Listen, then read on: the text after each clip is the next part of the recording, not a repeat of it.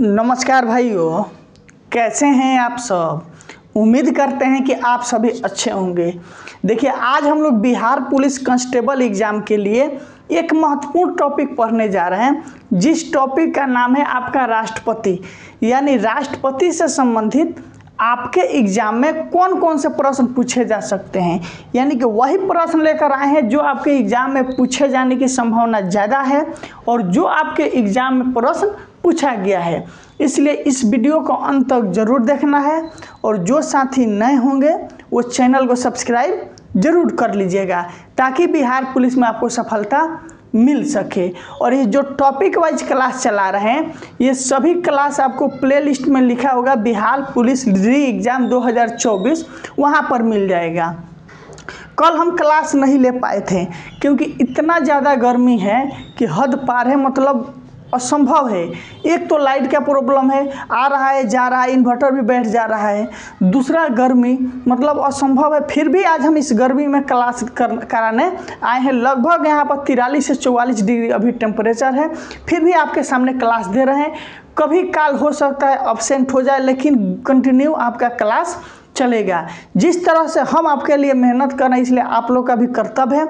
इस वीडियो का अपने उस दोस्तों के पास शेयर करना है, जो बिहार पुलिस की तैयारी करते हैं। चलिए अब हम क्लास को स्टार्ट करते हैं। एक एक चीज़ करके सब कुछ समझेंगे। एकदम निफिक्र रहिएगा, पूर्ण सिलेबस कंप्लीट हम कराएँगे। कैसे कंप्लीट कराना है, एकदम टेंशन नहीं लेना है। बस थोड़ा सा वेट कीजिए, क्लास को बहुत जल्द डबल कर देंगे। चलिए अब एक एक क्वेश्चन करके हम लोग देखेंगे। राष्ट्रपति से संबंधित जितना भी टॉपिक लिखा गया है क्वेश्चन सब कुछ आपका राष्ट्रपति से ही संबंधित है। यानी राष्ट्रपति के एग्ज़ाम में जो जो प्रश्न पूछा जाता है, राष्ट्रपति से संबंधित एग्ज़ाम में, वही प्रश्न लेकर आए हैं। पहला है कि संघ की कार्यपालिका। क्या है क्वेश्चन संघ की कार्यपालिका शक्ति किसमें रहती है? तो बोलिएगा कि राष्ट्रपति।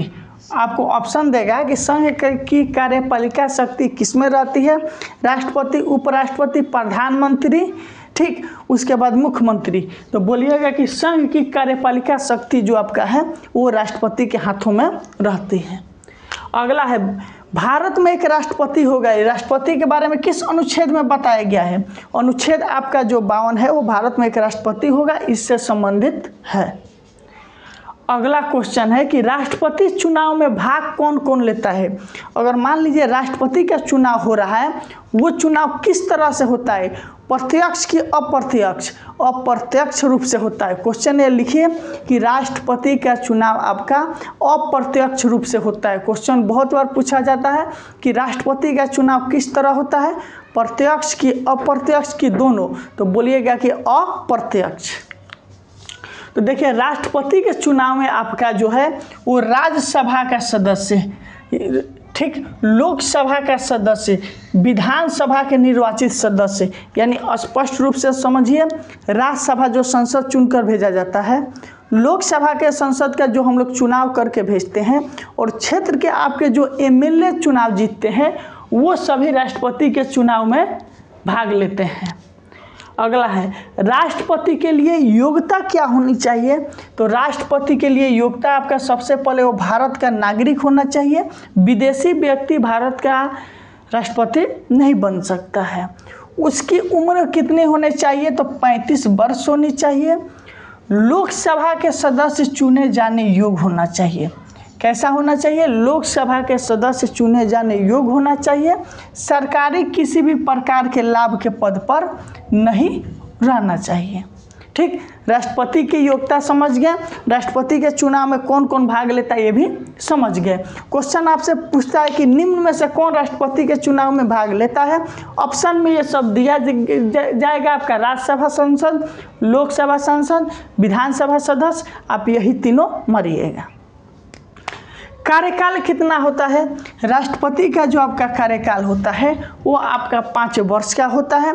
कोई भी व्यक्ति राष्ट्रपति जो है, पाँच वर्ष से ज़्यादा के लिए नहीं बन सकता है। उच्चतम प्लस उच्च न्यायालय के न्यायाधीश की नियुक्ति कौन करता है? राष्ट्रपति करता है।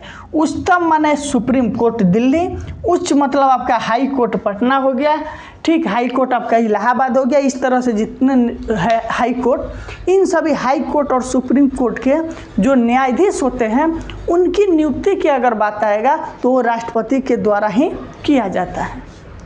एक क्वेश्चन आपका, ये जो उच्च न्यायालय है, उच्चतम न्यायालय है, इन सभी पर भी लेकर आएँगे। एक टॉपिक तीनों सेना के प्रमुख पूछे कौन होते हैं? तो बोलिएगा कि राष्ट्रपति जो आपके हैं, वो तीनों सेना के प्रमुख होते हैं। राष्ट्रपति अपना त्याग पत्र किसे देते हैं? तो बोलिएगा कि राष्ट्रपति जो है, अपना त्याग पत्र उपराष्ट्रपति को देते हैं। राष्ट्रपति चुनाव संबंधी अगर विवाद हो गया तो उसको कौन निपटाएगा? तो बोलिएगा कि उच्चतम न्यायालय। देखिए, तीनों सेना का प्रमुख राष्ट्रपति राष्ट्रपति अपना त्याग पत्र उपराष्ट्रपति को देता है और उपराष्ट्रपति अपना त्याग पत्र राष्ट्रपति को देता है। राष्ट्रपति चुनाव संबंधी अगर कोई विवाद हो गया तो उच्चतम न्यायालय के जो है, इसका निपटारा करता है। बहुत ज़्यादा आज गर्मी है, ठीक, इसलिए आप सभी अपना ध्यान भी रखिएगा। पढ़ाई के साथ साथ पानी की कमी शरीर में कभी नहीं होने दीजिएगा। थोड़ा बहुत, दो दो, चार चार घंटा पर थोड़ा सा डाइट लेते रहिएगा। गर्मी बहुत ज़्यादा है। अगला क्वेश्चन है, राष्ट्रपति की शपथ कौन दिलाता है? तो उच्चतम न्यायालय का मुख्य न्यायाधीश। क्वेश्चन पूछिएगा कि जब मुख्य न्यायाधीश नहीं रहेंगे तो कौन शपथ दिलाएगा? उसी के समकक्ष जो होंगे न्यायाधीश, वो शपथ दिला सकते हैं। वित्त आयोग का गठन कब, कैसे होता है? अनुच्छेद 280 के अंतर्गत राष्ट्रपति साहब करते हैं। वित्त आयोग का गठन कौन करता है? राष्ट्रपति करता है अनुच्छेद 280 के अंतर्गत।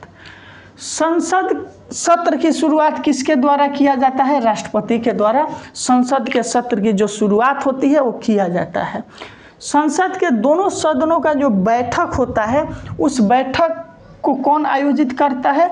तो राष्ट्रपति जो है, वो संसद के दोनों सदनों का बैठक का आयोजन करता है।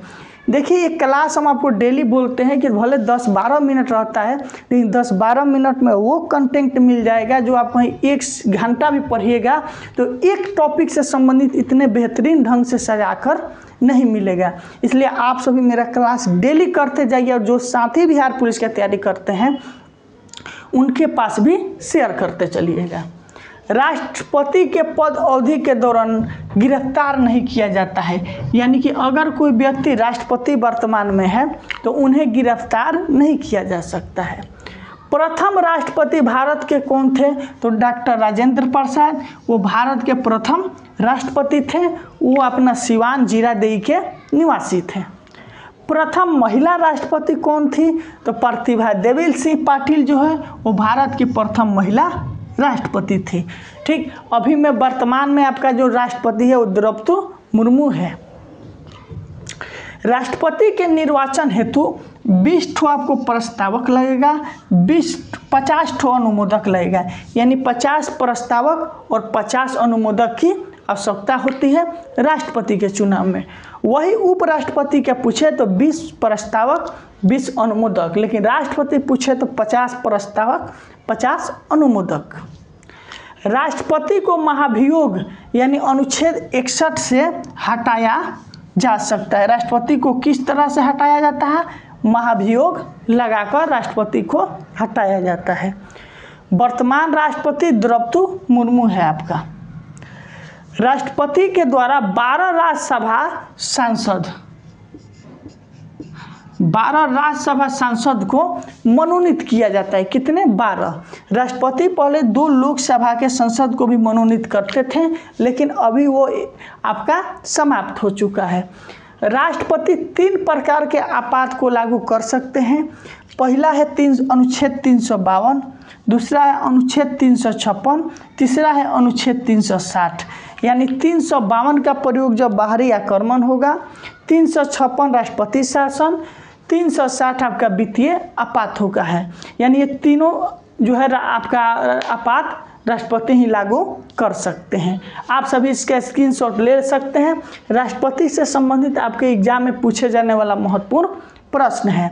और कोई भी क्वेश्चन है तो कमेंट करके पूछिए। फिर कल आपसे मिलते हैं अगले वीडियो में। आज के लिए